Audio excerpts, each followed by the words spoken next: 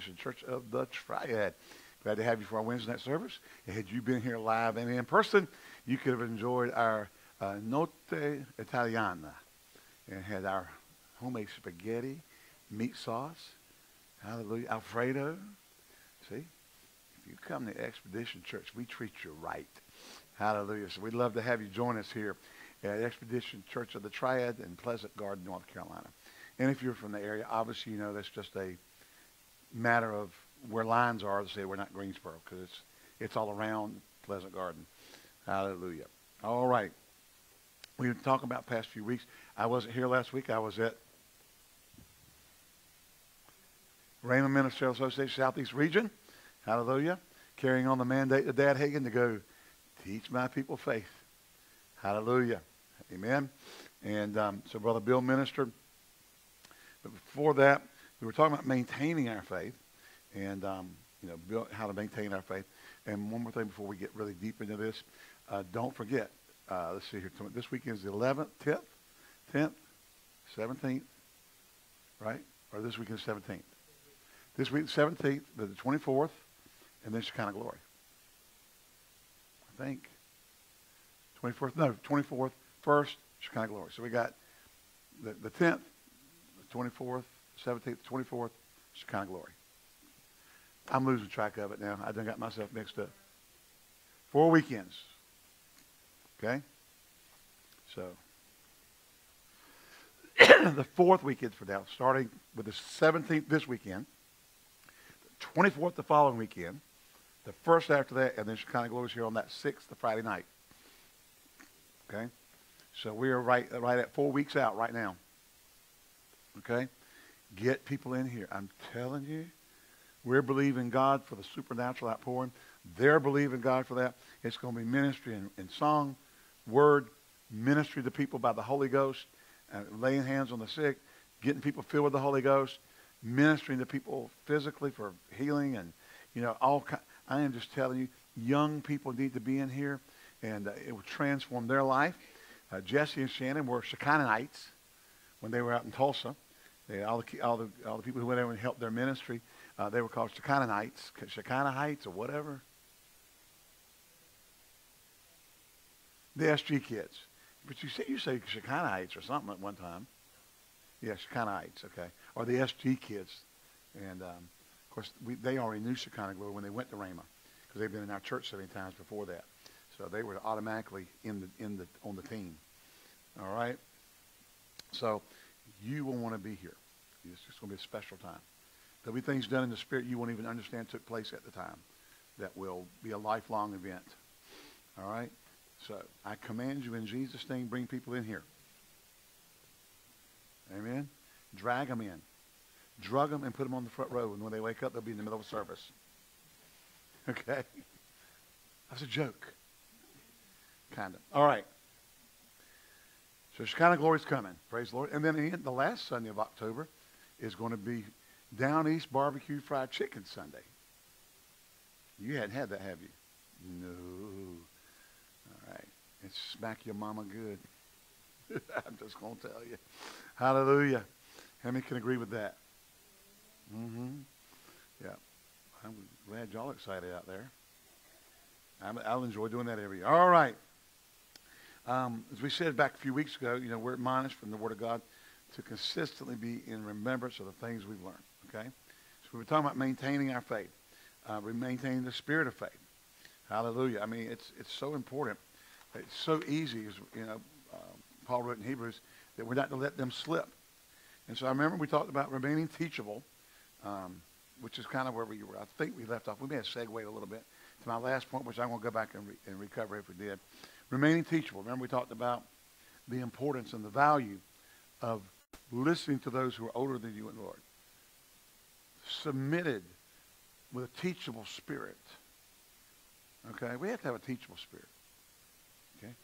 Um, you don't know everything. I don't know everything. Nobody knows everything. But we have to have a teachable spirit. Okay? And so um, we talked about that. Now, and I'm not going to keep you very long tonight. We'll talk about this last point. I thought she was laughing. But I said, I'm not going to keep you very long tonight. Oh. Proverbs 27, 17 says, Iron sharpeneth iron, so as a man sharpeneth the, uh, his, the countenance of his friend. The value of fellowship with like-minded believers. One of the things we have to do in order to maintain our faith is to stay around people of faith. Okay? You cannot kind of go, well, I did that Pentecostal charismatic thing. Or I did that word of faith. Now I've moved on. Yeah, and every time I've seen people move on, they move on away from faith. Okay? They, they, they lose that perspective because they start filling the life up with people who are, who are in many cases, anti the word, the, the word of God, that word of faith. They don't believe in confession, don't believe in, you know, the power of the word. They just, you know, they're sovereignists in many cases. Sovereign, just pure sovereignist. And what sovereign teaching basically is, is everything that's happening is happening because God had a reason for it. Okay? Um, your child walks out in the road, gets run over by a tractor trailer. God had a reason. He knows best. Okay? And um, there's a purpose behind it. He wanted to teach you a lesson of some kind. He wanted to um, work some greater good out in you by killing your child. That's just asinine. That's about the best word I can come up with it. It's, it's stupidity on steroids. Right? That's not God. It's not his character. It's not his nature. So he's going to kill your child to make you better. I mean, he can't make you better without killing somebody. You know, and too many people go around, you know, I don't know why the Lord put, you know, cancer on me, but, you know, he knows best. Well, number one, can, can, cancer is not from God. Sickness, disease didn't come from God. How God anointed Jesus of Nazareth with the Holy Ghost and power, who went about doing good, healing all who were oppressed of the devil. Sickness is a satanic, demonic oppression. Okay, and that doesn't necessarily mean because you got a cold last week that you got a demon. But sickness is in the earth through satanic oppression. Is a perversion of God's original plan. What health? I said health. And so I know I know people, and people that uh, walked in in places with the Spirit, with the Word of God, with the word of faith, that for whatever reason or whatever in their life, they uh, made some different turns, and now some of them don't aren't in church. Some of them don't go to churches that preach like that at all. Don't even, I mean, you know, um, that kind of thing. Have rejected, for the most part, all of that. Well, they hung around people who didn't believe that. Okay? You can't you can't run with people who believe different than you and expect to maintain your position. It won't work. Then what do you mean run with people that all right. You're a born again, spirit filled, tongue talking, Bible talking, demon casting, hand laying on, confession make a believer. you can't go spend all your time with somebody who is so sovereignist that you don't even know if you're saved or not. Okay? Primitive Baptist. You don't know if you're saved. When you find out, I guess when you die. Close your eyes. You find out if you really were one of the ones that got saved or not. And God chose that, and you had no choice in the matter. And my question to them is, why do y'all have church? Why, why preach the gospel? Because if they're going to get saved no matter what, and they can't get saved no matter what, why are you preaching? Stupid. Well, you can't hang out with them folks all the time because they'll put, they'll pull you down. Now, it's, I mean, I understand ministering to people and sharing the truth with people and trying to get light to them, but that can't be your runaround crowd. Because they'll take faith right out of you. They'll always have the yeah buts.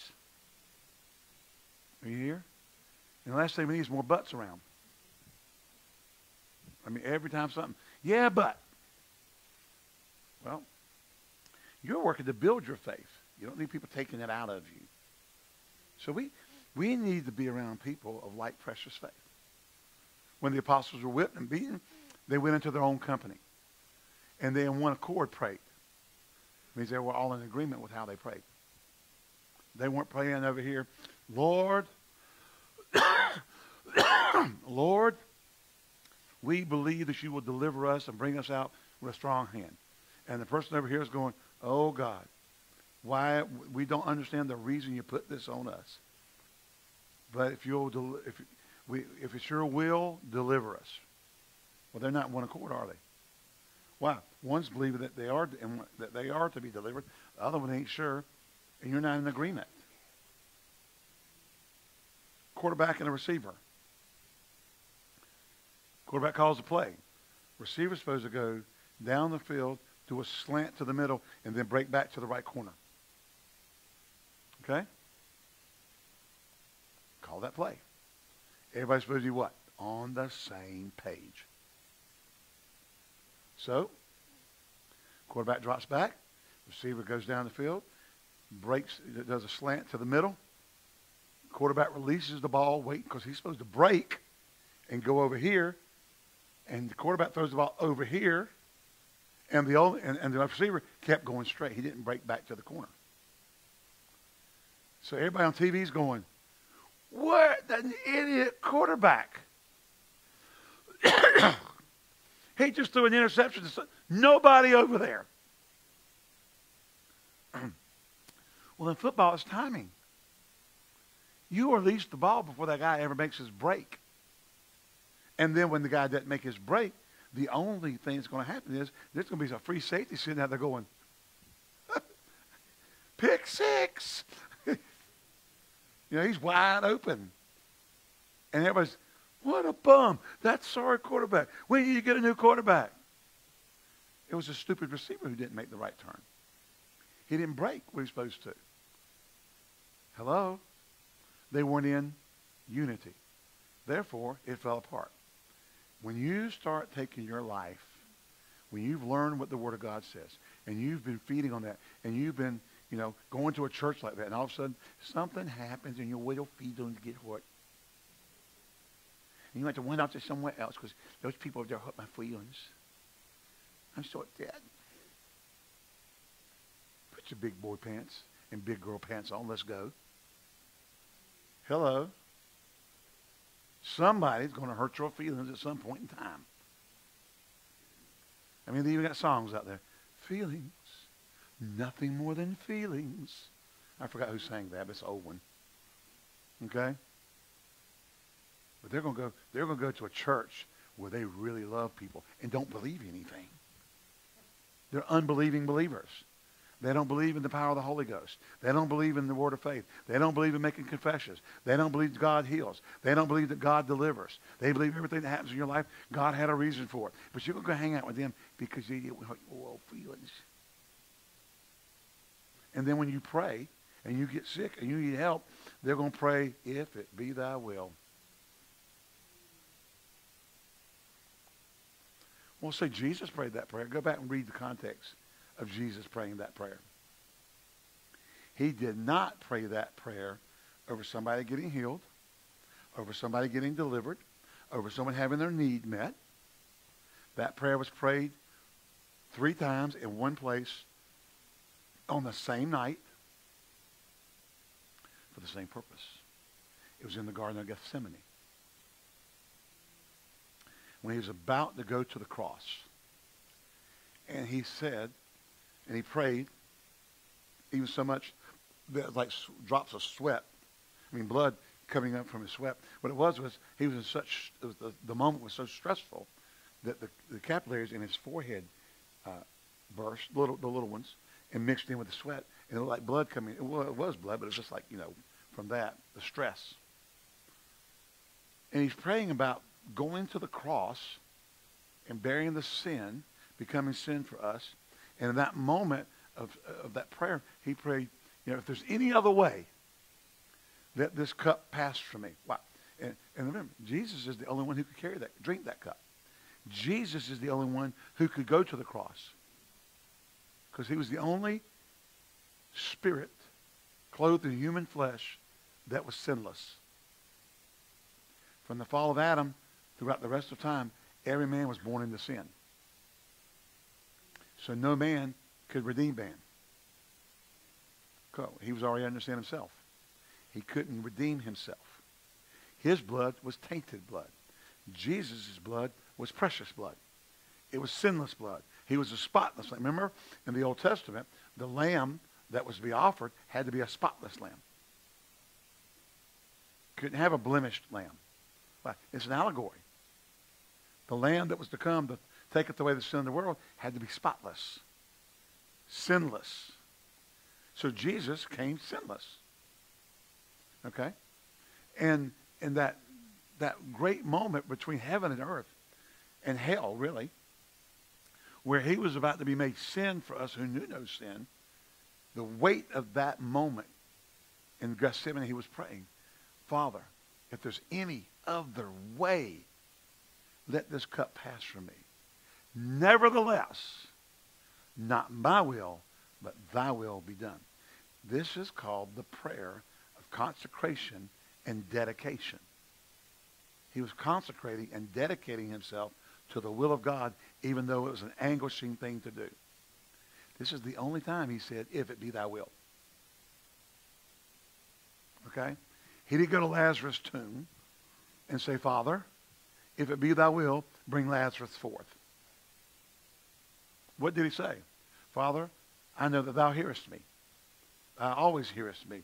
Lazarus, come forth. He didn't say, if it be thy will. I said, he didn't say it be thy will. When he raised the young man off the briar at the funeral procession, he didn't say, if it be thy will. He raised him up. When he cast out the devils, he didn't say, if it be thy will. Yet 99, well, I won't say 99% now. Let's just go with 89% of the church world will pray, if it be thy will, over any circumstance, instead of knowing, and, and let me say this, I won't say this with, I try to say this with humility, but it's the truth. If you are trying to pray about something, and you're at a point where you're going, if it be thy will, you just told me you hadn't been reading your Bible. Because if you're reading your Bible, you will know what his will is. What do you mean? You will know that he's Jehovah Rapha, the Lord that healeth thee. He's the Lord our physician. Amen? Isn't that right? So as you study the Bible, you'll find, listen, that's not, a, that's not necessarily a criticism. It is a locator. If you're having to pray out things, if it be thy will, in, in regards to things he's promised in the Word. Now, are you, am, am I supposed to go to Africa? That's a prayer, consecration, dedication. I'll go where you want me to go. I'll do what you want me to do. If it's your will, I'll go to Africa. Now, we don't have scripture that says, thou shalt go to Africa. There's not one that says to uh, uh, Penny, thou shalt go to Alaska and win the Eskimos. Now, the Bible says go into all the world and preach the gospel. Okay? But that is, you know, the whole church doing that mission. There are those that are sent. There are those that, that support. You have to pray that out and commit to what, you know, Lord, if you want me to go, I'll go. But your will be done. You may just want to go do something missionary-wise, but you're not called to that. You might be called to support the local church that supports the missionary. Okay? And so those things you pray out. The problem with getting around people who don't believe that you can have specific answers to specific problems based on what the Word of God says, if you are in that place and you say you're in a church like ours, and you're here four, five, six, seven, eight years, and your oil feelings get hurt, and you run over to unbelieving ministries of the of the life of faith, ish, and you're in there, and a crisis arises in your life. Well, I remember being in that church where they preach, and but you're, you're and you but you go to your new buddies. And say, you know, I just got diagnosed with a mass on my kidney. Let's pray. Lord, we, we desire that you minister to our dear brother or sister who's about to lose their kidney, that they can keep the other one so they don't die. But nevertheless, not our will, but yours be done. It's like Norval Hayes and the, bat, and the uh, blackboard in his church. Jesus, don't ever let my name get on the chalkboard of the such and such church. Everybody got to do that. That was, that was just a, a, lifetime of growing up in the church and seeing name go on and name came off and then there's a bulletin.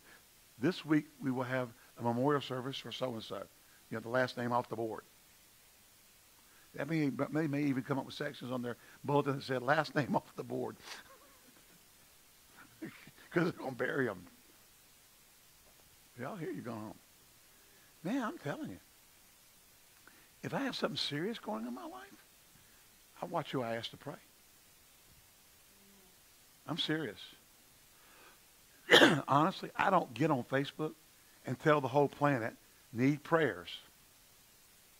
You get the little hands. Everybody's putting the hands up. I'm going to know, what are you praying? Because if you're not, I don't want no unbelief over my life. Are you here? I'm serious. Okay? Okay, you love Jesus and you're going to go to heaven, and if you way you believe, it might be quicker than some of us. All right? I don't want you praying for me if you're going to pray in unbelief. And I can't say pray in tongues because you don't believe in that either. You know? I mean, there's some folks that you can kind of look at and say, look, just pray in tongues. That way the Holy Ghost can pray it, and you won't get in, in there with your uh, weird doctrines, and he'll just pray the right stuff. But I'm, if you don't believe what the Bible says, if you're going to pray me into the grave, I got this one. All right? I can get that done. I know some people who can pray heaven and earth together and get answers and believe in faith and stand with me in faith and not bury me in the process. Y'all hear you go home. So it's so important that as you're building your life of faith and to maintain that life of faith, that you hang around people of faith. Amen. I said amen. Well, so that's kind of arrogant, isn't it? Yeah. Did y'all ever notice when Jesus was dealing with one person one time? Um, actually, it was their eye. They were blind. And um, he was with the people. He took him out of the city. Why? He had to get him away from the unbelief. He couldn't leave there with the unbelief. It would hinder what he was trying to do because there was so much unbelief. So he had to remove the person away from the unbelief. Amen. And got him healed. Praise the Lord. Unbelief will mess it up. There's one place in the Bible we've quoted this recently, but um, he was he was he went into a place and ministered to people, and he could there over Mark do no mighty work. Save, that's King Jimmy for accept. He laid his hand on a few sick. In the Greek, it really means this word sick is a derivative, and it's you know, listen, you got voices, you got moods, you've got tenses, uh, you got all this stuff. Okay, you got the ARTs, and you got the future past, present, all these crazy grammatical things on the Greek. So the word sick is, is one of those forms, and it means sickly. It's my sickly, you know, few ailments here and there.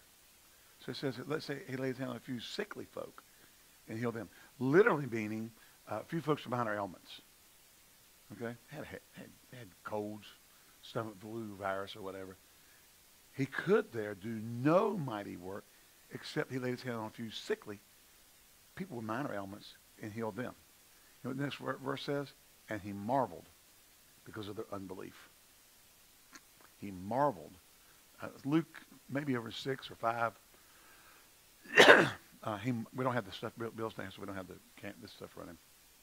He marveled because of their unbelief.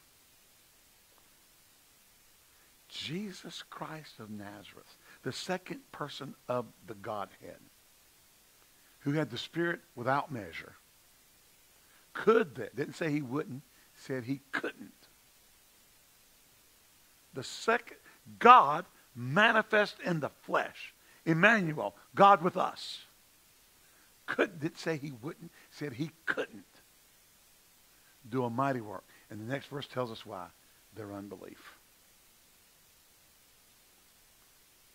Unbelief will undermine your faith. It will undermine the atmosphere of faith. Amen? That's why it's so important to be around people of faith. Because if you're not, it will pull down on you. Amen? It's hard. The Bible says where two or three are gathered together, there am I in the midst of them. Amen? If two of, two of you agree as touching any one thing, I will do it. What if you're not in agreement? Again, we go back to our scenario. What if you've got the person who's believing to be healed and the other person believing that God may have put it on you? And y'all going to pray about it. Well, guess what? You're not in agreement. They're, uh, they're home praying, Lord, speak to them and tell them, you know, that you'll, you'll reveal to them why you put it on them. And they're over there praying, Father, I thank you. The Word of God says, by, by the stripes of Jesus, I'm healed. You're not in agreement. You're praying two totally different things. And you're going to get intercepted. Hello? Because the receiver's over there and the ball's over here. Well, what's the receiver? Faith is your receiver. It receives the answer. Amen? So you want your faith at the point where the answer comes. Can't have it over here. You can't have it over here mixed all up with believing and not believing. You're on the wrong route. Got to be where it's supposed to be. So, this doesn't mean that we disdain, we don't like, you know, we can't have dinner with somebody who don't believe like us. They can't be your pals. They can't be your hangout group. They can't be who you fellowship with. You got to have people. Well, we have so many things in common. In the natural. But this is spiritual. We need to be following after what, what we have in agreement in the spirit. Amen? Well, you know, we're buds and, you know, I go hang out with them. And now I don't drink because, you know, you know, I don't, you know, pastor said that drinking's wrong and, you know, what, listen. Know, that's a big debate now. I mean, 30 years ago, if they if you got caught drinking in a Pentecostal church, they tar and feather you and run you out of town on a rail. And I just ordered a barrel of tar and some feathers. Okay, everybody, you know, now it's very accepted and whatever. But here, I'd say this: you you've been in a church that doesn't believe in drinking, don't think it's good, you know. And listen, the Bible says wine is a mocker, strong drink. It's a, I think causes folly, something like that. Um, you know, Paul wrote to Timothy, he said, drink a little wine. Didn't say daily, three times a week, three times a day, you know, until you finish the whole bottle. For your stomach's sake, for your medicinal purposes. You know. So I could go down the road and say, look, I could, I could show you from Scripture. It's not profitable, at least. All right? But you go hang out with all your old buddies, and they're all going out to the pub, want you to be with them, and they're drinking themselves under the table. Amen. And then, you know, then you're going to have them pray for you, and they don't even go to church. But they're your old buddies. And we have so much fun together. Now, I, I never really told my family a lot about my non or my uh, BC days. Okay? Okay. Um, I had a period there that I um, indulged in excess. All right? And um, I can tell you, you would not want me praying for you. Okay? All right? But you want to hang out with your buddies because y'all went to school together. Y'all, y'all, be, y'all, y'all uh, vacation together. And next thing you know, you're hang, you're wanting to spend more time with them than you are people that you don't really like their personality. I mean, y'all just don't click. You know what I'm saying? You ever have people like that? Guess what? You're to have them in the church. When you come to church, you're going to have people that you don't click with. You're not going to want to go on vacation with them. Okay? They might be a video game nerd.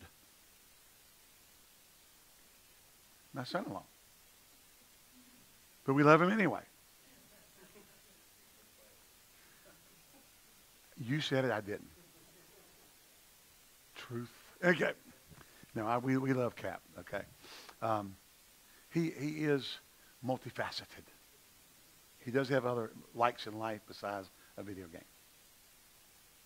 Carolina Hurricanes, of which we can have so much fun together with. Yes, hallelujah. And they scored. Can't wait to hear those words. and then the other team scores. And so-and-so scored. But when the Canes scored, and they scored.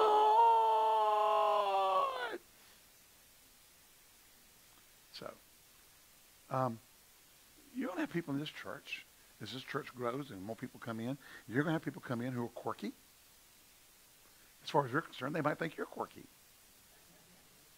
Okay? They might. They might look over at Daniel and go, that's that quirky dude. I mean, he's not my cup of tea.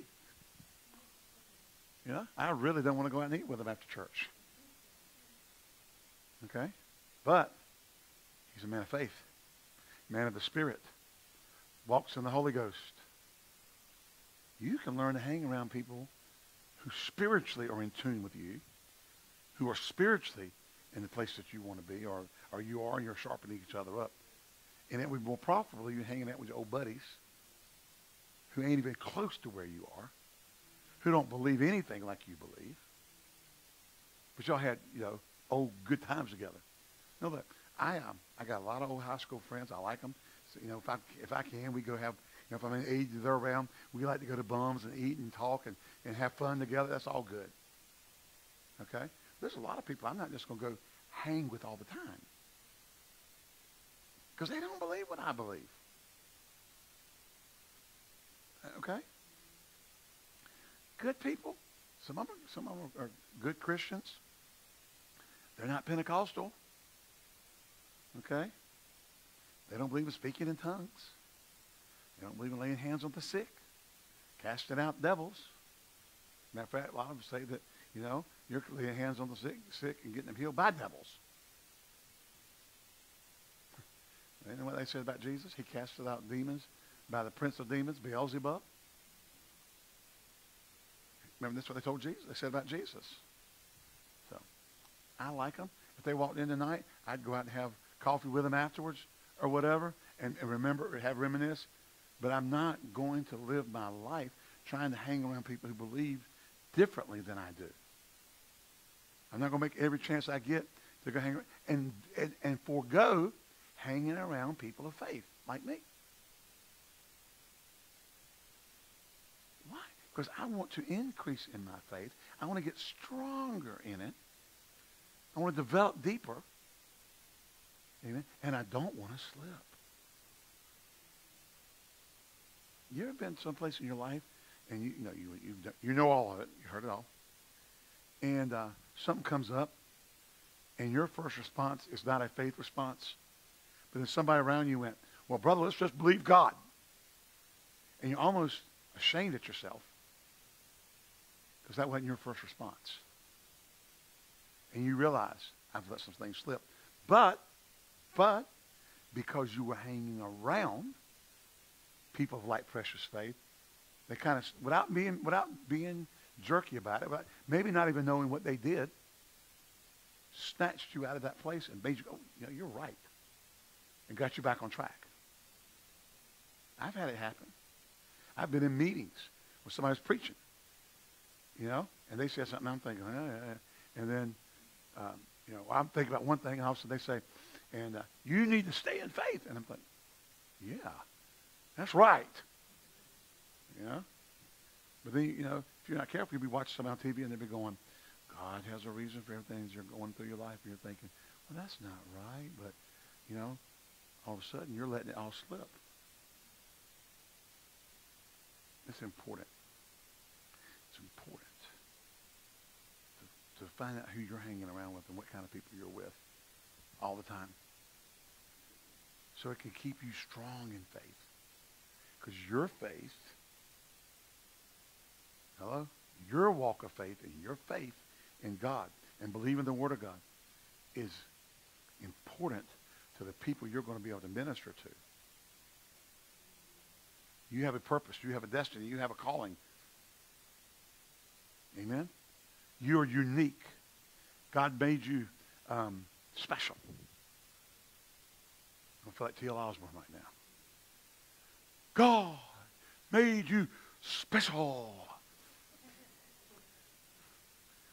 If you ever saw T.L., some of y'all never heard of T.L. Osborn. I believe Tommy Lee Osborn. All right? Um, he, would, he would preach like this. You're called. You're anointed. You're special to God. Huh? Oh my goodness. Uh, I, I, I got to be with T.L. Osborn in meetings and stuff a number of times. Loved him. he inspired me in my faith. That's what we're talking about. Being inspired in your faith. Sharpening iron. Okay? Now look, you don't want to be a um, stainless steel or tungsten steel sword trying to rub up against aluminum. You know, just cast, uh, not even real good aluminum. You're not, something ain't going to get sharpened. It's going, the, the tungsten's not going to get sharpened, and the other's going to get destroyed. Okay?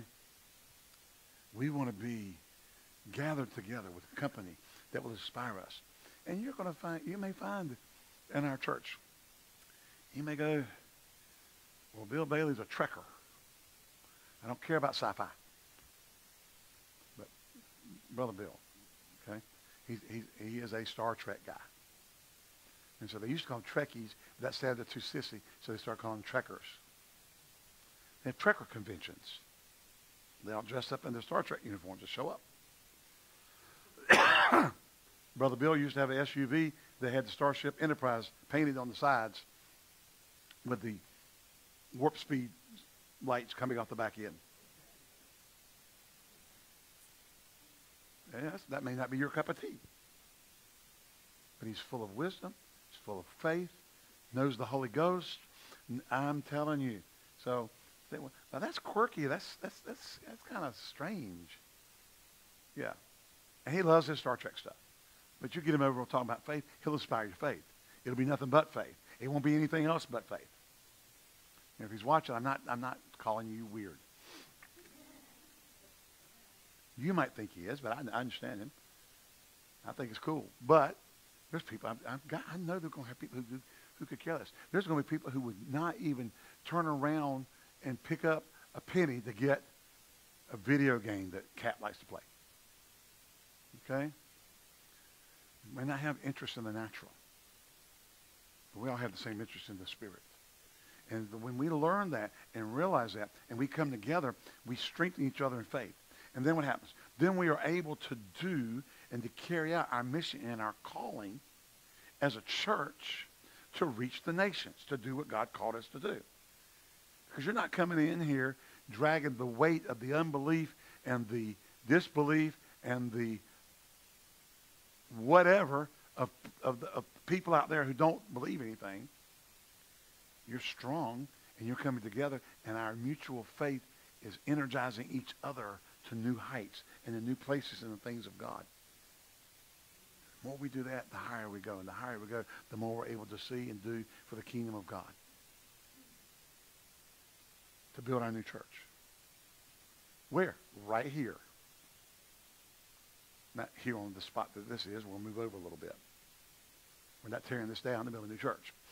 Okay? Because we got a place to meet while we build a new one. Remember we said Sunday. That's our hope. That's our vision. New building. Why? To house the why? The why is to house the people that are coming. The groups, the, the numbers of people that are coming. We can't put them in here. We can't have enough services in here. I can't preach that many times a day. Okay, so we got to have a new building to put all the people in. How? We're going to be soul winners. How are we going to do that unless we are in,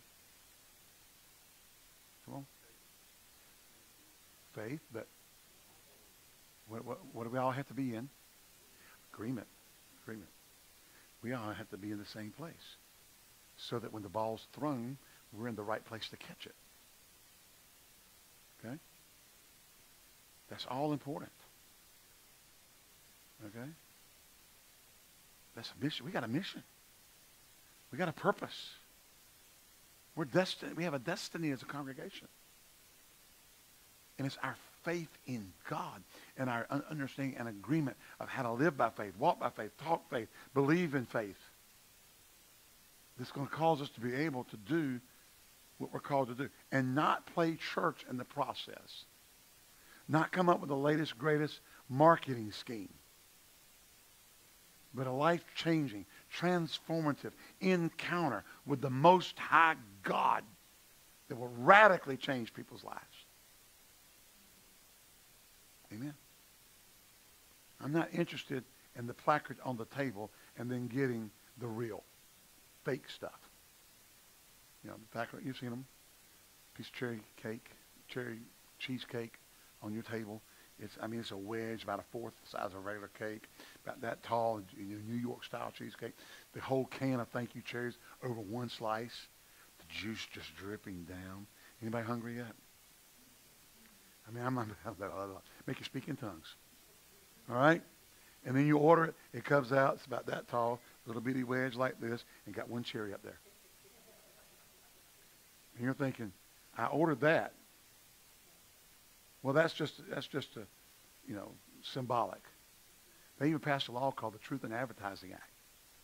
You technically are not supposed to be able to do that and give them this because you lied. You presented one thing and got another. Not, we're not interested. We are not interested in having a church built by image and by, by techniques. We're interested in building a church that the power of God changed their life power of God radically moved in them. The power of God gave them something they could not get anywhere else. And their life will never be the same. Amen? Never be the same. And their faith is not in man, but in God. Hello? We get there by being in the same company coming together, by growing together, by walking in faith together, by believing the same thing. I'm not talking like cultic. You know, cult. I'm not saying don't ever fellowship with anybody else. But I am saying your main place, fellowship and spiritual intimacy, is with people who believe like you believe. So that when you start talking and you start sharing, they're going to come up with faith in that moment. You know? I just went to the doctor and I was told such and such. That's all right, brother. We're standing with you. We're believing God. The Word of God says such and such, such and such. And the Word of that, and I believe, and can you, we can agree with you. What are you believing for? Well, I mean, well, well, I'm believing I'm the heel of the Lord. We can agree with that. We go after it. We go after it. Instead of, I'll pray for you, brother. And walk off and don't pray for you. I was in the grocery store line one day, and um, guy behind me started talking. He, I mean, he started singing all the woe is me's. Okay, um, how bad it was. I said, you know, he's sick or something. I said, well, um, I'll pray for you. He said, please do. I turned right around, took my hands, put it on his head right there in the line. I said, in the name of Jesus, and when I got into it, amen. You know, everybody, you look around people. You know, see, a lot of times we courtesy pray for you. What do you mean? I'll pray for you. And they say, thank you. And you go your way, and you never think about them again. And you had the opportunity at that moment to put your hands on them, because Jesus said you'll lay hands on the sick, and they'll recover. Instead of doing that, we go home and throw up a little courtesy. The Lord and, and that guy I talked to tonight, uh, just show yourself real to him. And we just kind of, okay, I did my responsibility. And you really didn't engage in the Spirit to get them something that would fix their life. Amen. We got to become so radically charged with our faith and our believing God and our what we have to give. Amen. That we can't stand to be around unbelief. All right. Uh, Brother Copeland, a number of years ago, um, back early early years of his ministry, he was in some place. Mean, he was a speaker, but he went in charge of the worship and all that. And somebody got up and sang some song right before he came to the pulpit. And the worst thing in the world is to try to follow a song of unbelief. You got to fix everything before you can preach. I'm not joking. I've been there. Somebody sing a song, you're thinking, you can't leave me with that. And um, they sang some unbelieving hymn. Not all hymns are unbelieving, but some of them are. I mean, through the mud and through the flood, but everybody through the blood. I mean, you know, I mean, the woe is me's. You know, pass me not, Lord Jesus. Pass me not. He said, I'll never leave you nor forsake you. Or, pass by here, Jesus. Amen. Kumbaya, my Lord. Remember that? See that as a kid? It means come by here. Come by here. What do you mean come by here? Is he not omnipresent everywhere? You want to run by here. Like he's not there. All right? But Brother Copeland, somebody got up saying some unbelievable song, you know, and Brother Copeland got to the platform he said, Sister, that song is embalmed with unbelief. That snatched all the, you know, goosey, goody feelings out of everybody who thought that song was spiritual. Yep, that song is embalmed with unbelief. Well, probably didn't have her sing anymore at his conventions. Probably didn't want to. You know? He's, he's tempered himself a little bit since then. Not much, but some. Okay. um, you can't have people, you know, like in ministry, you can't have people get up in front of you and, and do things in unbelief. I've done that. I've been in services like that. And it's, it's hard. It's hard to follow that. Um, to have somebody get up in front of you and fill the atmosphere with anything but faith, it's hard. I've been in services where I had the minister and the person that was singing right in front of me was, was singing so much out of the soul and the flesh, and they want no anointing on it. And they walked up and left you, and you're sitting there going, well, Lord, how do I fix that? You just got to be anointed enough yourself to get over it because, and, and turn it around because they did, they sure didn't help. You want to say, why in the world did you sing that stupid song? Don't ever sing that again.